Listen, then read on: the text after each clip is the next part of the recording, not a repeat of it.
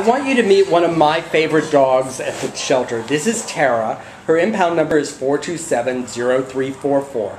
And Tara is a one-year-old female. We're going to say she's got a little bit of husky, a little bit of collie, and a little bit of chow. She came into the Baldwin Park shelter as a stray from La Puente on April 29th. Tara weighs 50 pounds and she loves people and she's just playful and sweet. She walks well on leash. She gets along great with big dogs and small dogs. She's not aloof like many chows are.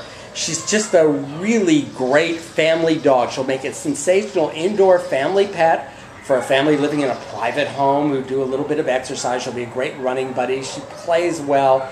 We think she's fabulous. We'd really like to see her get in a great home, a home as good as her personality, because this is just a fabulous dog available for adoption today here at the Baldwin Park Shelter.